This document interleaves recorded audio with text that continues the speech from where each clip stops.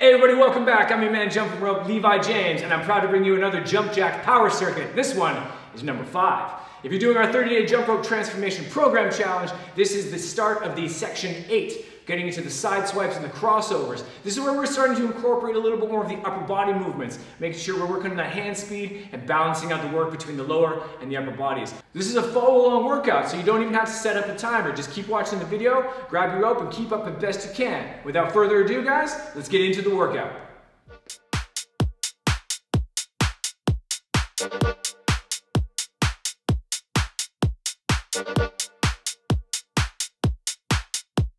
You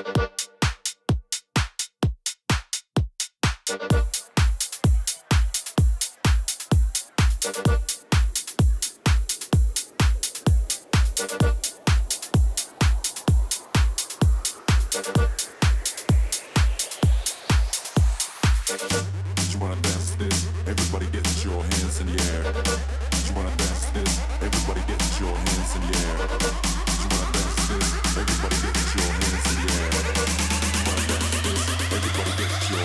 Hands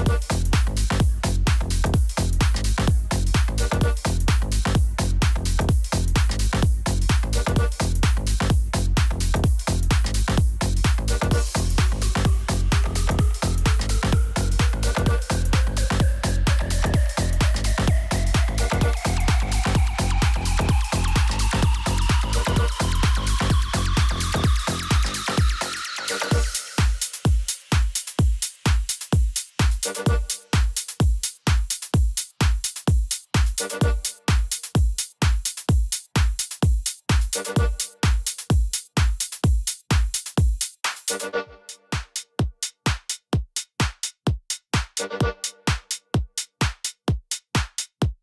You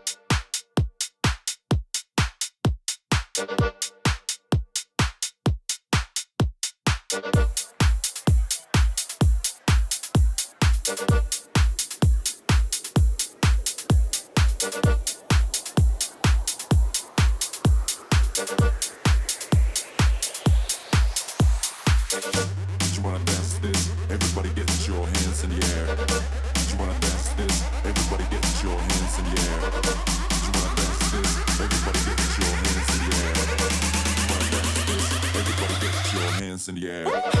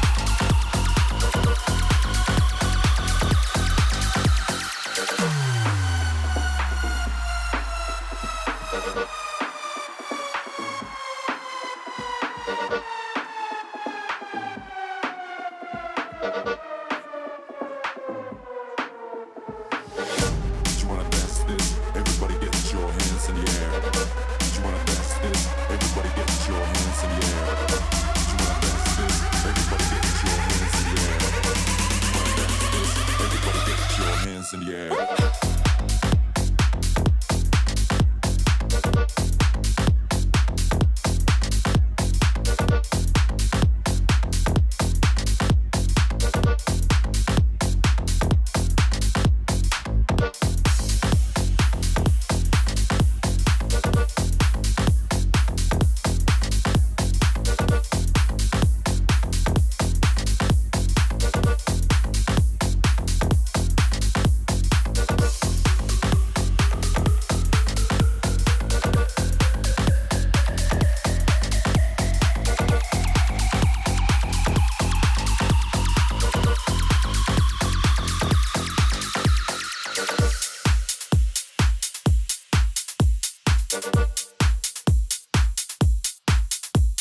the air.